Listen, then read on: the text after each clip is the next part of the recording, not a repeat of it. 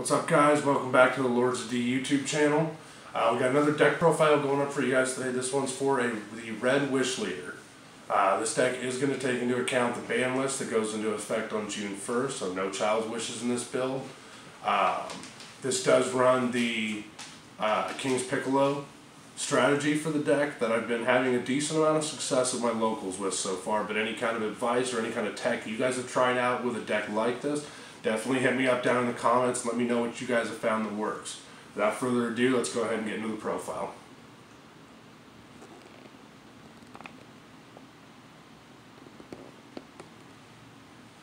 Alright guys, so for starters, we run the Pilaf leader that flips into the Oolong Wish. So the Pilaf leader has a once per turn that when one of your battle cards attacks, you can give it plus 5,000 and then search your deck for a Dragon Ball. Or, or your life. Uh, the flip side has the standard wish abilities. Now this is one of the wish leaders that can attack. He does not have the auto or the permanent that says he cannot attack. So he can still go in with himself as well as his ultimate that I like to refer to him as is you remove seven Dragon Balls, draw three cards, and then give one of your battle cards plus 15k, which plays really heavy into the endgame strategy that we're going for with this build. So obviously, since we're running Wish, we're going to run seven of the Dragon Balls. I personally run the Porunga's Dragon Balls, but you can run the regular ones. I've seen some people tech in the Super Dragon Balls as well. I haven't tried that yet, but I haven't ruled it out yet either. Next up, we're going to run four uh, King's Return to Youth. Uh, this card is great for searching out one of your boss monsters as well as thinning out your deck because it also lets you search another copy of itself as well. Next up, we do have four of the Oolong's Wish. Uh, just like the King's Return to Youth, this card works great as a combo piece with one of the other battle cards that we run in the deck.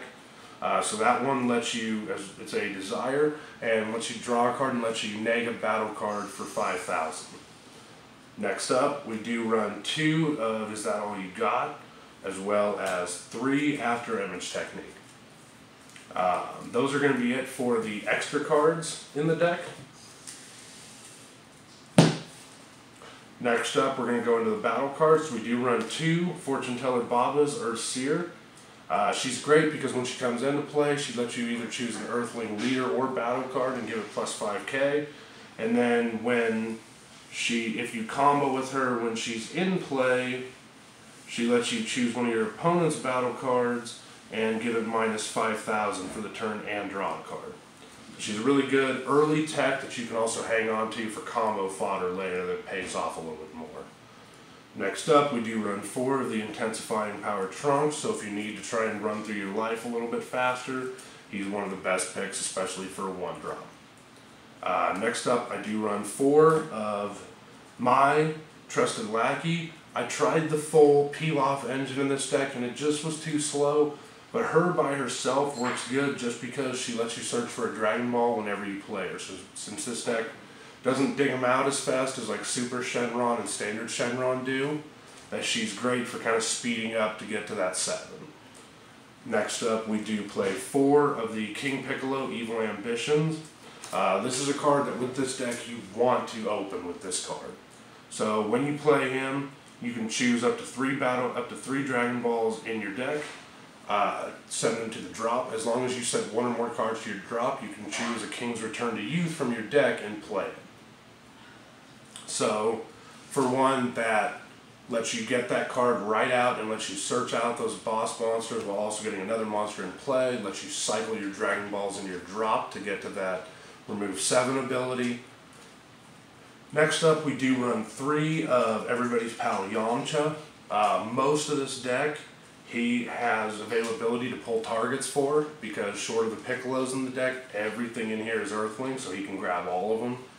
And the nice part is, is the abilities when he attacks. So even if he gets negated, you get that auto, so as long as you attack with him every turn, you can keep searching for battle cards, trying to fill up your hand. Next up, we do run four of the Scheming Oolong. This is the one that ties in with your Oolong's Wish, so when you play him, if you have an Oolong's Wish in your drop, you get to draw two cards with his play. And at two for a 15k, he's already pretty good, but that extra two draw for that especially if you can get him out on turn two, can really speed up your plays. Next up, we got our super combos. So I run two of the Master Roshi Martial Expert as well as two of the Sideline Assist Bolas.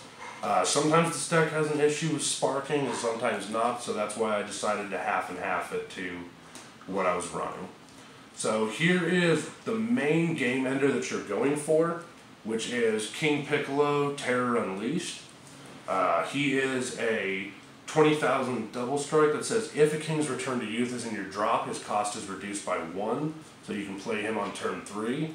And then he has a sparking 10 ability once per turn that says like you can send a King Piccolo, Terror Unleashed, or a King's Return to Youth in your drop to the warp and restand him.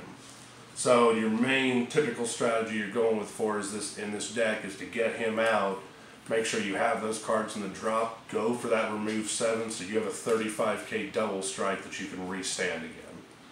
Uh, just for a little bit extra tech and a little bit extra strength, I do run one Scientist Fu in this deck. Uh, just because he has the draw power, and like I said, he's another really big, heavy hitter for the deck. Um, so that is the profile that I'm running right now. Like I said, if you guys have any better ideas or anything like that, uh, that you guys think might be some tech that you've tried in this deck personally. Definitely let us know down in the comments, but besides that, uh, don't forget to like, share, and subscribe, uh, and we will see you guys next time.